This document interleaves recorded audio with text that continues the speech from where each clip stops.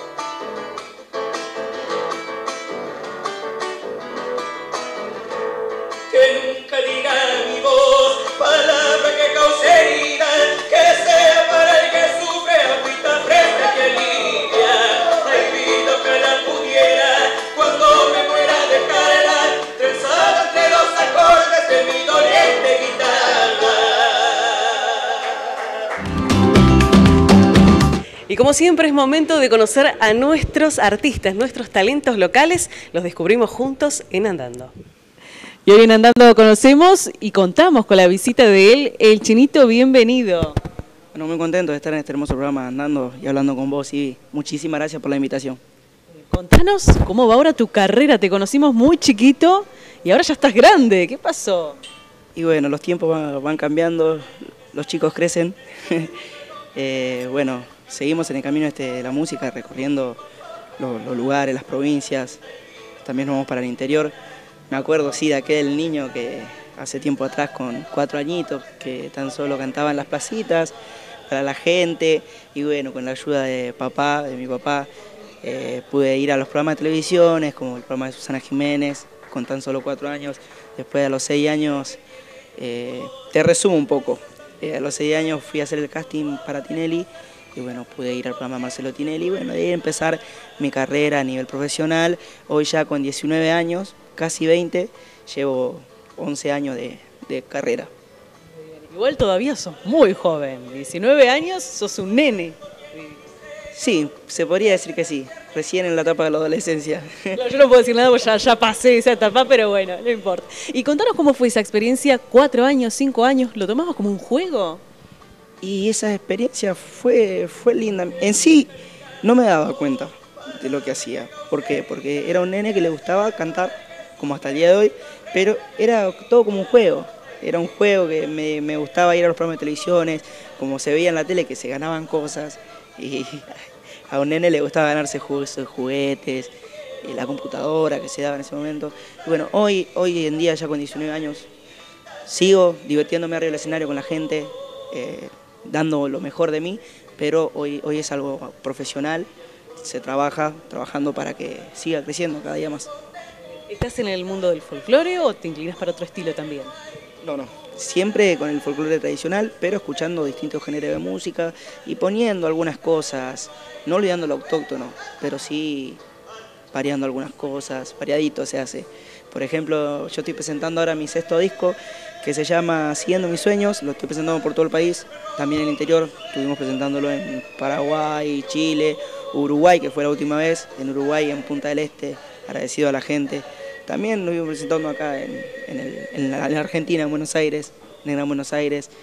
Y en el disco grabamos una bachata, que es un folclore que viene de la República Dominicana.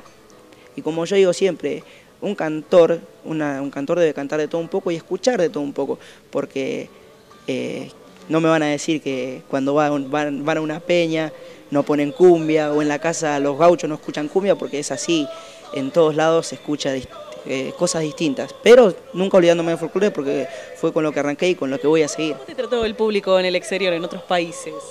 Y no, la verdad el cariño de la gente es inmenso, de la forma en que, en que me brindan todo de ellos, su respeto, sus aplausos, su cariño. Yo pienso, como digo siempre, ¿no? Eh, nosotros los artistas, los cantores, no seríamos nada sin la gente, sin el público, porque ellos solo son todo.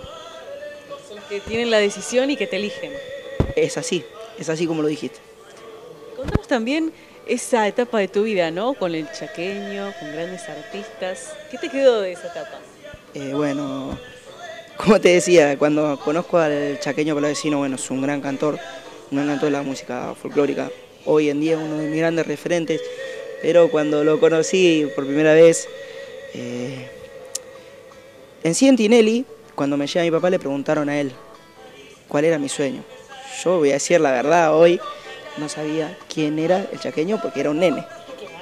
No sabía. para mí, mi referente, el, ídolo que tenía máximo era mi papá, que él cantaba y yo lo escuchaba a él. Y mi papá quería conocerlo al chaqueño y bueno, se me dio la oportunidad de conocerlo, de estar con él. Después de que tuve uso de razón, sí, compartí cosas con él, escenarios.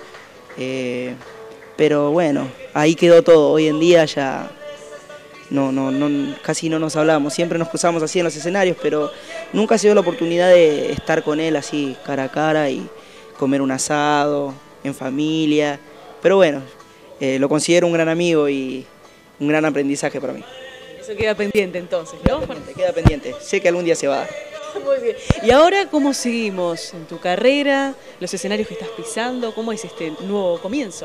Y ahora armando una nueva producción, una nueva producción. Eh, para el año que viene, ya si Dios quiere, vamos a, empezar a grabar el nuevo disco. Hoy, ahora estamos armando el proyecto con los nuevos productores y bueno, y sí, este año seguramente vamos a andar en los festivales, seguramente vamos a andar por el Festival del Cabrito, por Catamarca, por Tucumán, Salta, recorriendo toda la provincia, todo el país de la Argentina. Bueno, ahora vamos a escucharte entonces y volvemos a preguntarte más sobre tu vida. Nos vamos a meter. Ni un problema, vamos a cantar un ratito entonces.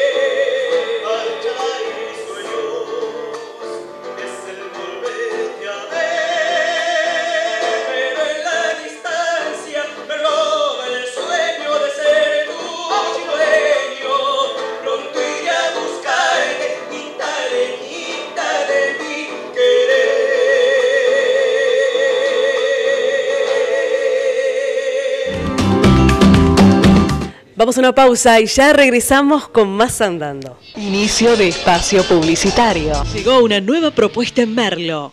Ponele a full. El mejor ambiente para disfrutar de buenos momentos. Show karaoke, a full animaciones. Humor, stand-up, DJ en vivo, cena show. Queremos brindarte todo para que disfrutes cada noche. La mejor calidad de atención. Además, a mitad del mes de octubre, comienzan los talleres de canto, teatro y danza. No te lo pierdas. Perú 571, esquina Libertador, Merlo, Buenos Aires. Info y reservas al 11 27 07 65 20. Ponele a full. No esperes al verano, ponete en forma, vení a conocernos. Go, Gym Fitness. Centro de entrenamiento para todas las edades.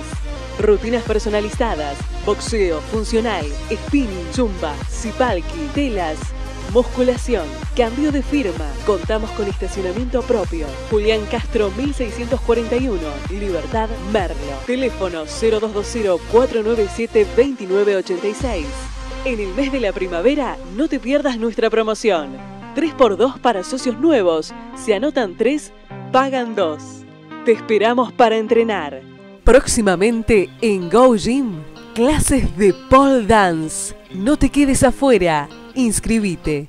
Go, Gym and Fitness. La agrupación aeromodelista Pucará te invita a sumarte y compartir un día a todo aeromodelismo y en familia. O con amigos. Contamos con boxes para los aeromodelos, un snack bar, pista asfaltada y de césped. El club te espera para disfrutar en familia. Te esperamos en la ruta 1001, Avenida Billinghurst, 1666, González Catán, Buenos Aires. Comunicate con nosotros vía Facebook, Agrupación Aeromodelista Pucará, a la Secretaría del Club, 1565 1160 90.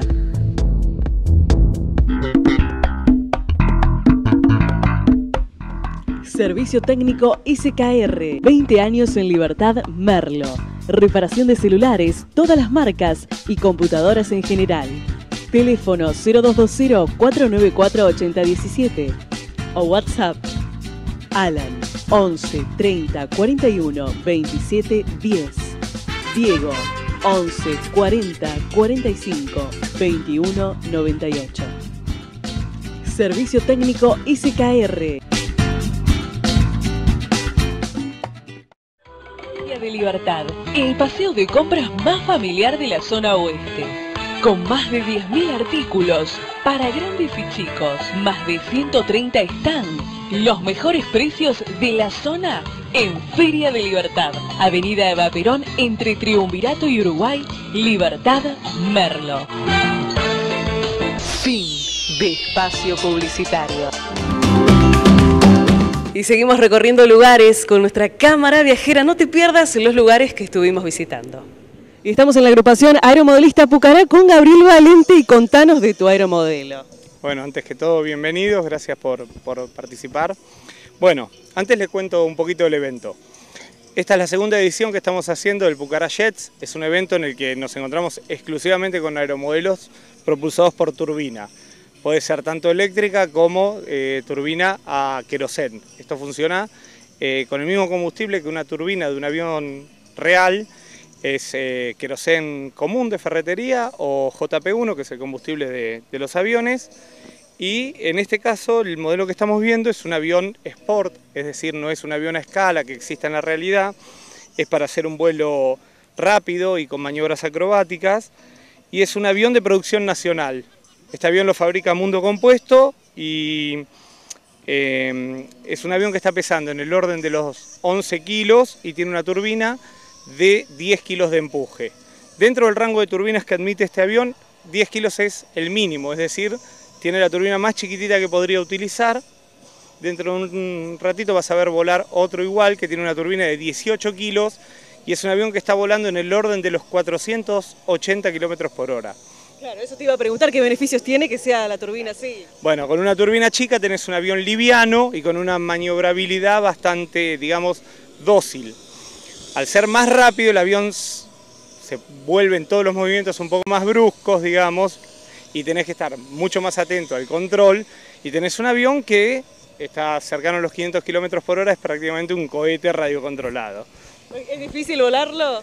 No es difícil, requiere un entrenamiento y un aprendizaje escalonado.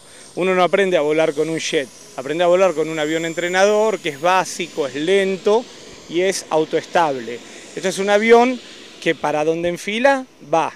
Es decir, es como te digo, es prácticamente un cohete radiocontrolado. Entonces necesitas tener eh, un par de años de experiencia.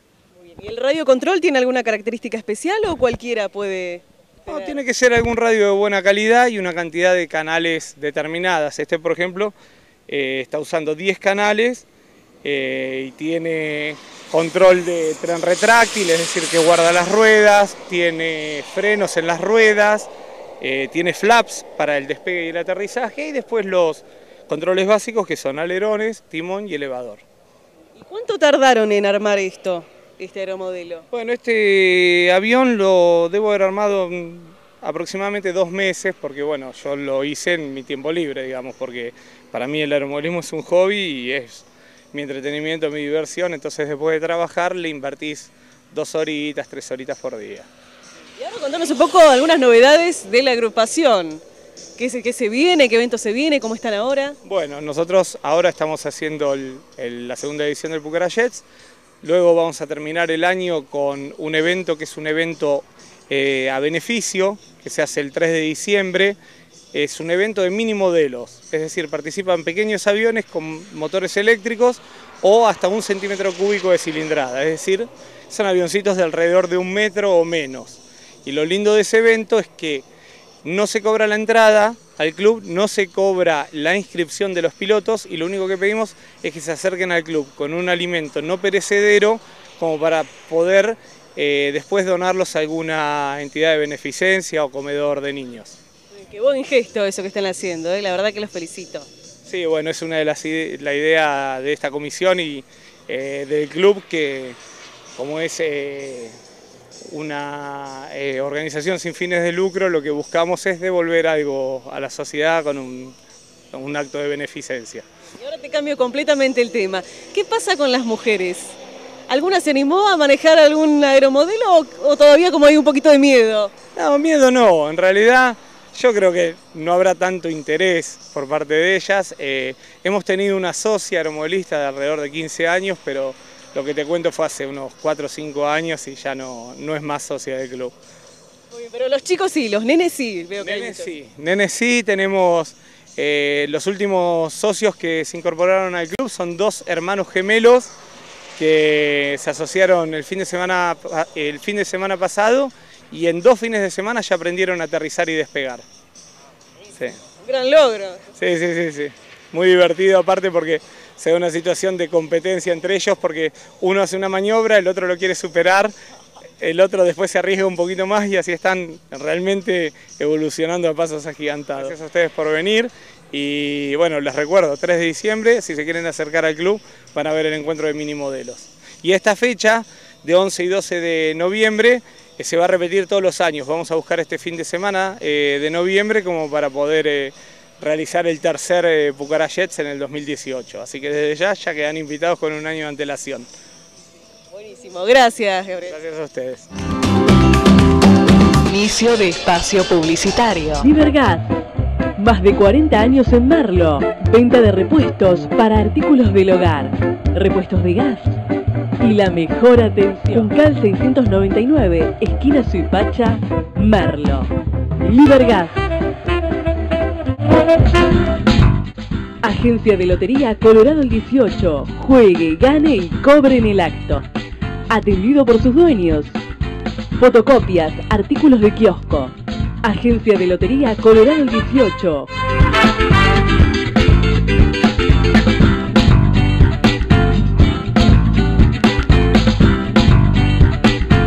Avellaneda, servicio técnico. Todas las marcas. Reparación de cámaras de fotos digitales y filmadoras. Monitores y TV LCD. Equipos de audio, notebook, teléfono 0220-482-1460, Nextel 227 asterisco 3983, email sesmerlo2012 hotmail.com.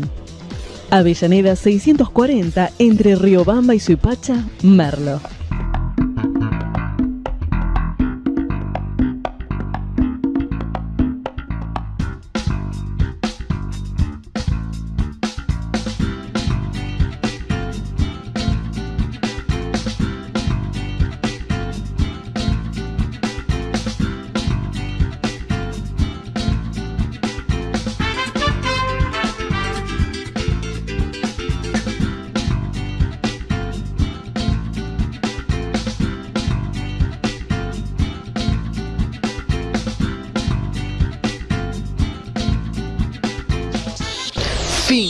De espacio publicitario.